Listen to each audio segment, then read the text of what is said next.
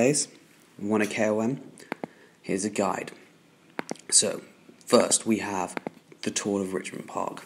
This is a classic segment, uh, which has, let's see how many people it has. It has 40, 43,000 attempts, right? I'm 1,305. There's absolutely no way I'd ever get the KOM. The person who did it was on a TT bike and hit like 400 watts or whatever, and everyone else was in a group. There's absolutely mad wattages. So, top tip for one of these segments, let's say you want to get a, a loop, we'll just try a different loop here. So, instead of going all the way down um, to the bottom, this is the fixie lap. Um, okay, I haven't gone for a KOM, but I'm now 455 out of 42,000, 4,261. So it's like 10% less people on the segment. So that's a good tip number one. Choose a less popular loop. Tip number two is choose to do repeats of a hill. So here we go, Swains Lane. KOM, uh, there's been 10,581 attempts. The KOM has some incredible wattage. Could I get close? Maybe, but it will be it would definitely be tough to do that. I've never really gone full gas all the way, but anyway, but that's irrelevant. And then we go on ten times Muswell Hill or whatever it is, and there's only 581 people, or the five times version. So here you go up the hill and then round and up and uh, up and around, and that basically just reduces the number of people doing it. So that's a great way of getting a KOM in a populated place. Don't just do it on one climb, but do it on multiple climbs. We also have Broomfield Hill here, which again is in Richmond Park and there's something ridiculous like 54,000 people. I mean, it's like getting a KOM, you have to be like a domestic professional like Ed Bradbury to get a KOM.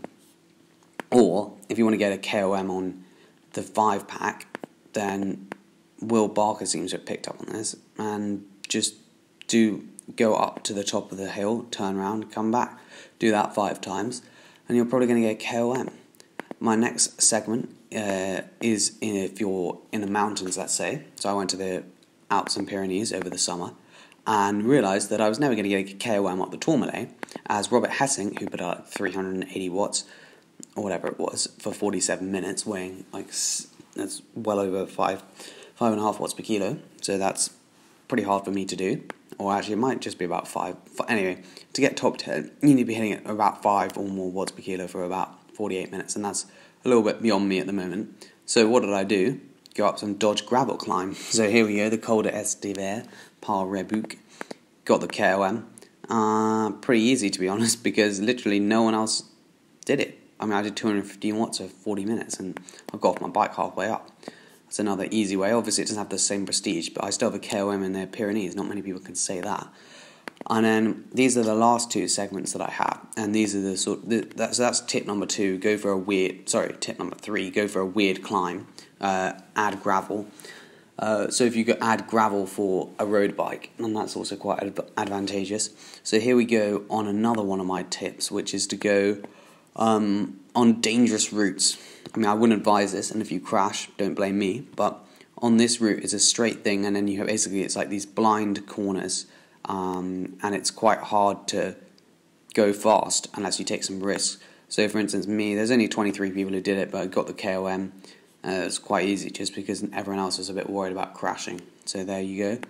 And then the other one is going across a railway track. So, you go across the railway track here, turn left, then you have to, there's a roundabout here, so you have to go past that. There's another like road there.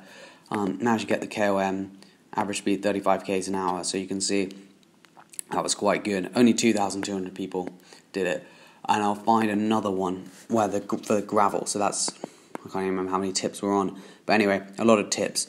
Uh, so to recap, do it on gravel. Do the climb. Sorry, do the climb on gravel, or find some gravel where you can ride ride your bike. Pick weird routes that go down dodgy roads or over railway crossings. Pick laps that aren't as popular, or pick climbs that are instead of just doing one climb, do repeats. So here's another one. Most of these people would have done it on a mountain bike down this little gravel track, but actually you can do it on a road bike perfectly fine. 38 k's an hour, 300 watts, easy.